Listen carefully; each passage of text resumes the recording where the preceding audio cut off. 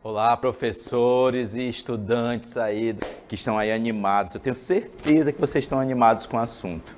Né? Então vamos ver aí agora a nossa aula do dia. Eu sou o professor Dyson Jardim. Veja aí. Nossa aula 15. Né? Então nós vamos aí estudar sobre a classificação dos seres vivos, reinos da natureza e reprodução das plantas, tá bom? E no detalhamento né, sobre as classificações taxonômicas dos seres vivos.